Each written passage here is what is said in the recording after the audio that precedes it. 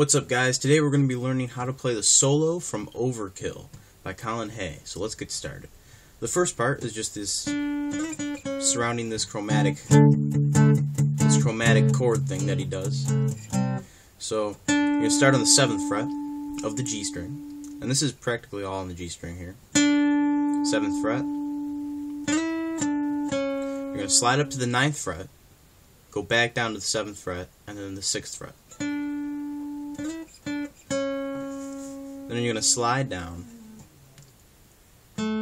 second fret of the G string, fourth fret, and then you're going to play that fourth fret again and then slide up to the fifth fret there. Then slide up to the seventh fret, back down to the fifth fret, down to the fourth fret. Okay, so that whole first part.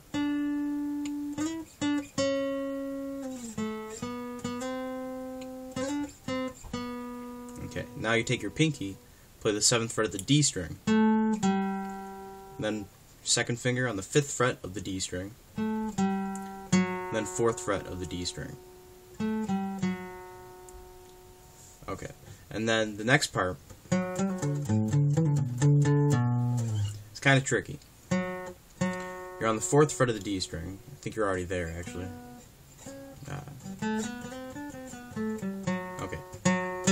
Play the fourth fret again, and then you play the fifth fret of the D string, and then pull off.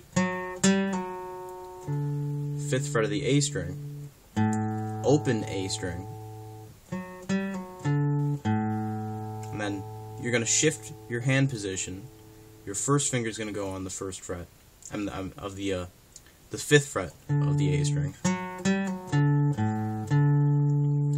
and then the seventh fret pull off to the 5th fret, 7th fret of the low E string, and then the 5th fret of the A string twice, and then 7th fret of the low E. So slowly that whole part goes like this.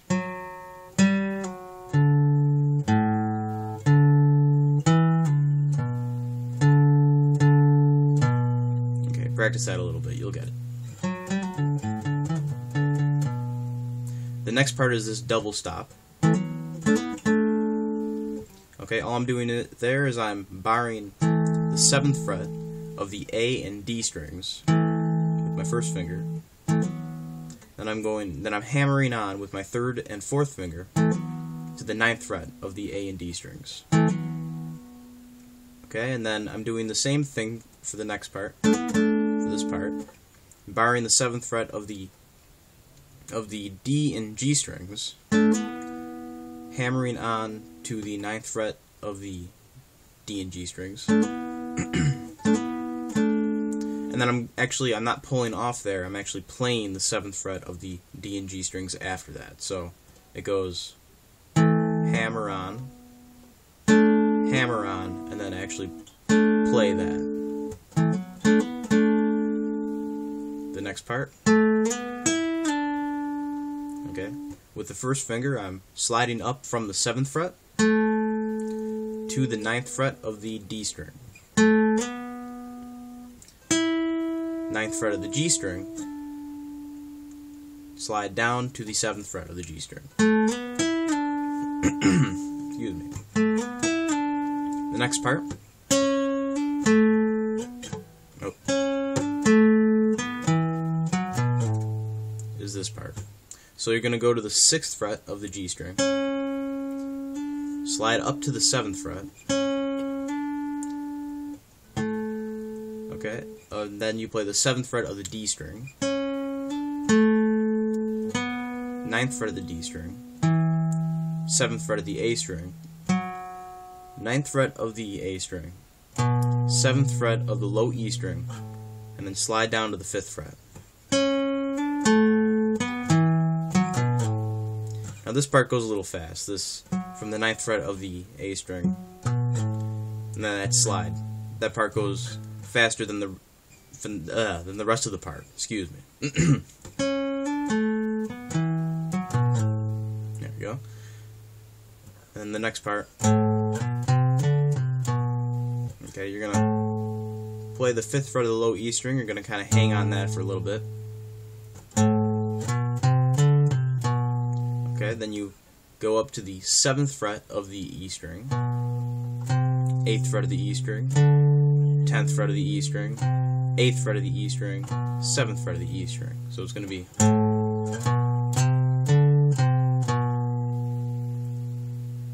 that's that full part. Then you palm mute this next part. You're going to palm mute on the low E string, 5th fret of the low E string, 3rd fret, 2nd fret. Boom, boom, boom. And then this is the part where it goes, it kind of goes by a scale.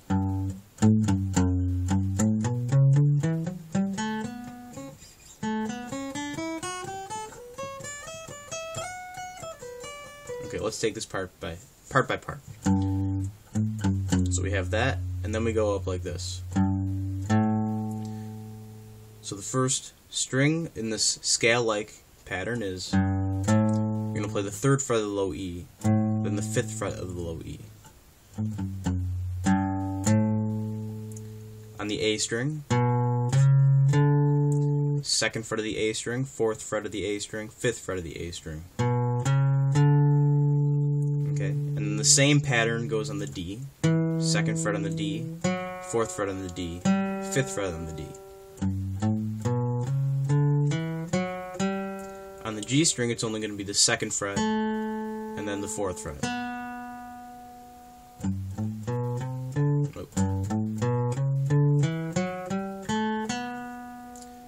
Then on the B string, I think that's right.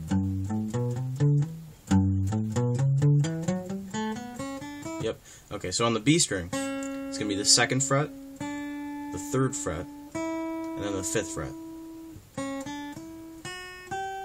And then that same pattern on the B string is on the E string there.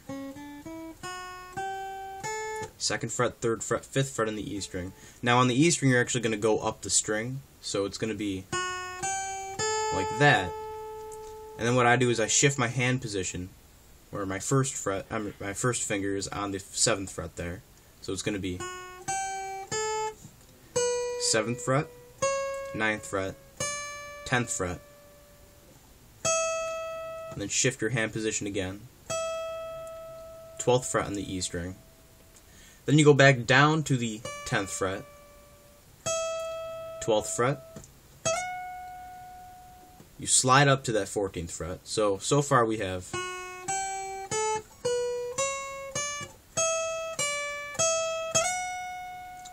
play the 14th fret again. Okay, then you play the 12th fret of the high E string. Pull off to that 10th fret. Then the 12th fret of the B string. Then you play the 10th fret of the E string twice, and then the 12th fret of the B string. So that whole part is.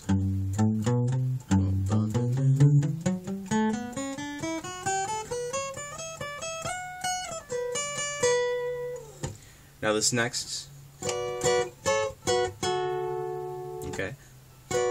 You're going to be playing this chord. This is the, let's see, you're going to have your second finger play the 11th fret of the G string. Third finger is going to be on the 12th fret of the B string. And your first finger is going to be on the 10th fret of the high E string. You're going to play that twice.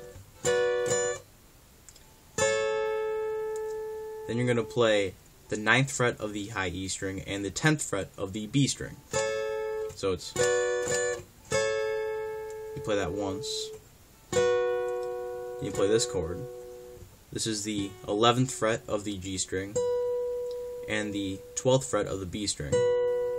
You play that once. And then you keep this in this position, but you go down to the 10th fret of the B string and the 11th fret of the G string. So that whole part.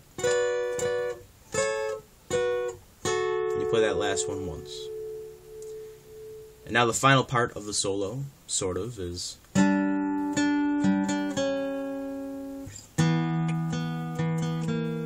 Okay, so this part is kind of like a five chord, power chord here. You're gonna have you're gonna have the fifth fret of the of the D string and the seventh fret of the of the G string. So it's going to be, you're going to actually play that as a chord.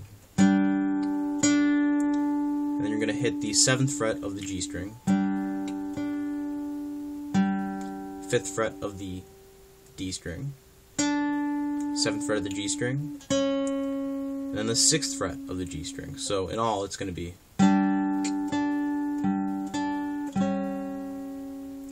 Then you do that. Then you're going to do that exact same pattern, but on the power chord, but on this E power chord down here, the second fret of the of the D string and the fourth fret of the of the G string here. I'm going to get my hand in there.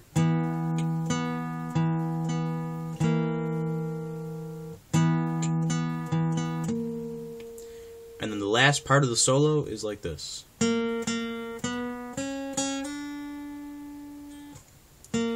The third fret on the G string. You're going to play that twice.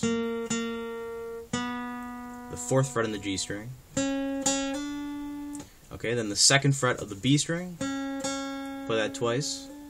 And on that second time, you slide up to the third fret. And you are done with the solo from there. So, thanks for watching. I hope you bared all 12 minutes of that.